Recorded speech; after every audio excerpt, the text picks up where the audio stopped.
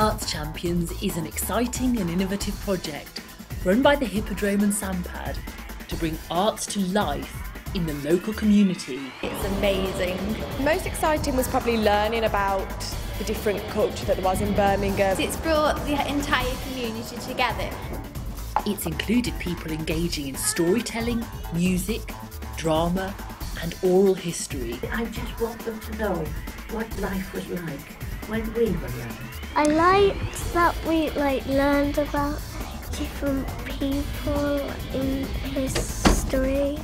We're here to devise a piece of theatre that reflects the local history of Birmingham and its four constituents, so that's Bartley Green, Quinton, Harborne and Edgbaston. The first story really that we identified is the story of Jane Bunford. Read all about it! World's tallest woman found here in Bartley Green! She was the world's tallest lady at her time. She actually had the world's longest hair as well. Um, her hair was eight foot in length when she died.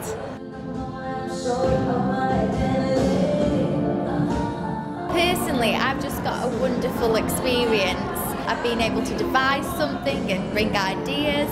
I've been able to go and see things I never get to see. I actually found just using the subject that I love for something that I find really interesting to do for the community. Absolutely amazing. Working with the Hippodrome has been such a delight.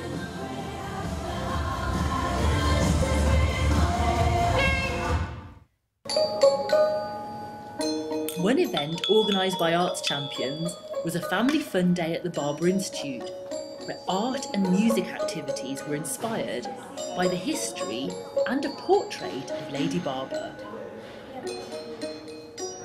We've been having fun mainly.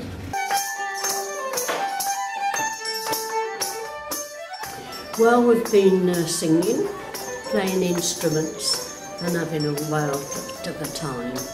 Really enjoying it. Love that music. So it's uh, nice and lively and uh, everybody joined in and uh, it was really nice, enjoyed it. We've been listening to some stories. Capern actually lived in Harborne, not very far away from here. He was the postman poet. I've enjoyed the poem One Edward, the postman who had the, who was also a poet.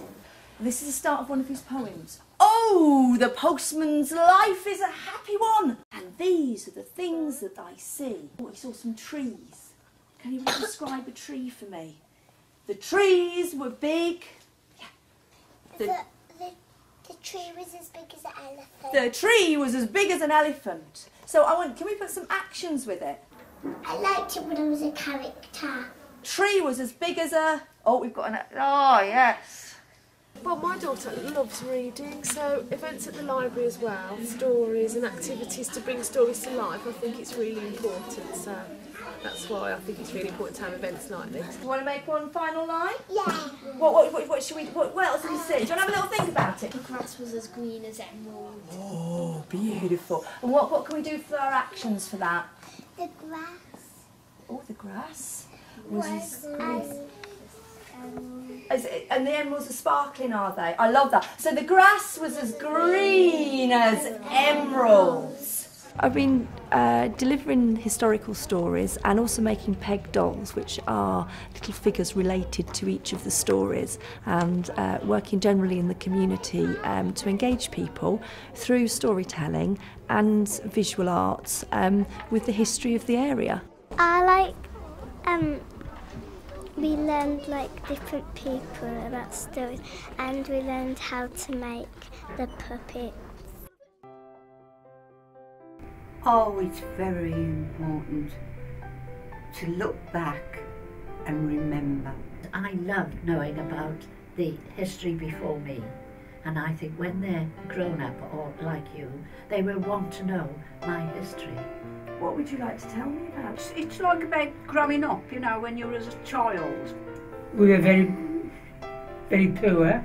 And would you believe when I was first born, we didn't have any electricity. I was born with uh, the, the trashy for it now, cerebral palsy. But when I was born, it was plastic. I've had some wonderful times. I enjoyed every minute of it. I went to London when I was 17 and war was declared a fortnight later. I was in charge of casualty at night. And I'm not kidding you. Life was very, very hard. Oh, all hell used to break loose. It was really frightening that part until the police came in and they used to line all across the pub, the bar. There's no such word as can't. You can do anything so long as you put your mind to it. I think it's wonderful to look back. Makes you sad sometimes. Arts Champions Edgbaston has been a fantastic engagement journey for us and we're really looking forward to continued work with the partnerships that we've built here.